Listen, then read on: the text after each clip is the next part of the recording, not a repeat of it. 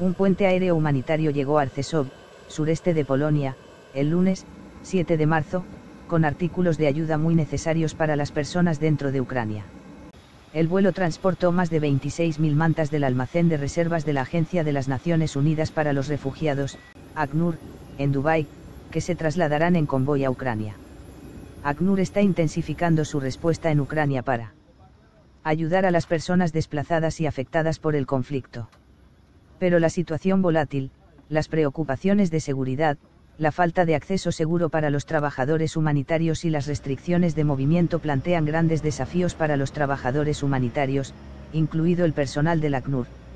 La agencia continúa entregando cuando es seguro hacerlo, brindando asistencia y participando en actividades de protección, como trabajar con líderes comunitarios desplazados internamente para evaluar las necesidades humanitarias e identificar sitios seguros donde se pueden recibir desplazados internos.